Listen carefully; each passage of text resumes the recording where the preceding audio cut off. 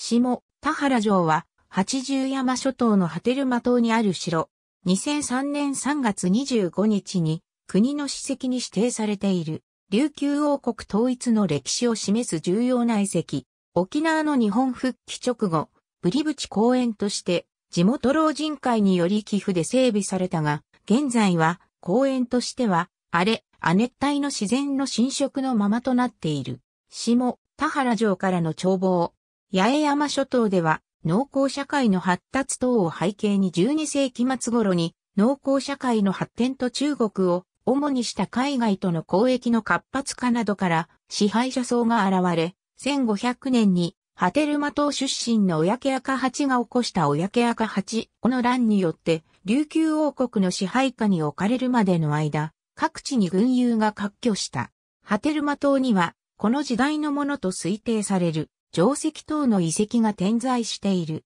島北部の大泊浜に近い標高、約25メートルの崖上に位置する下、田原城跡もその一つである。下、田原城は、15世紀から16世紀にかけての中国の青磁器片が出土していることから、この時期にはすでに築城されていたものと考えられているが、追記の正確な年代や誰によって築かれたのかは不明である。下、田原城の規模は東西150メートル、南北100メートルに及び、崖上に、望みの珊瑚製石海岸で作られた城壁に囲まれ、8つの角上遺構が形成されている。また、円剣台、石室、井戸などの跡も残っている。下、田原城跡は、琉球王国の統一の歴史を示す重要な遺跡で、戦災等の被害を受けていないため状態も良好で、あるとして2003年3月25日に竹富町で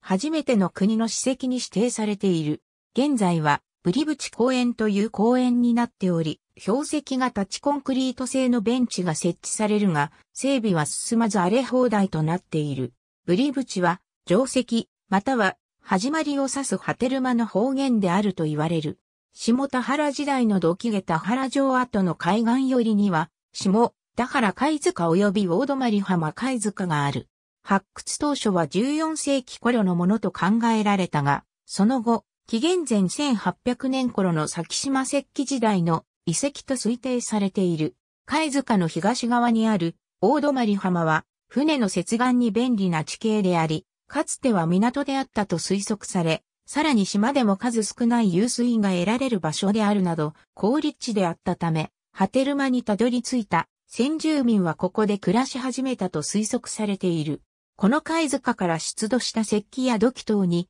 台湾やインドネシア、オセアニア、メラネシア文化との関連が確認されることから、先島石器時代は南方系文化であったと考えられている。また、出土したイノシシの骨や石器の材料になった石は、西表島から持ち込まれたもので、西表島との交流が盛んであったと推測されている。緩やかな形状の丸底の土器は、下田原式土器と呼ばれる、先島最古の土器で、宮古、八重山の土器の原型とされる、ABCDEF コトバンク朝日新聞デジタル、ハット ABC ハテルマ島あれこれマイナスブリブチ、公園一帯の話、小勝限界塚、下田限界塚出土品店、沖縄県立埋蔵文化財、センター、2012年、ありがとうございます。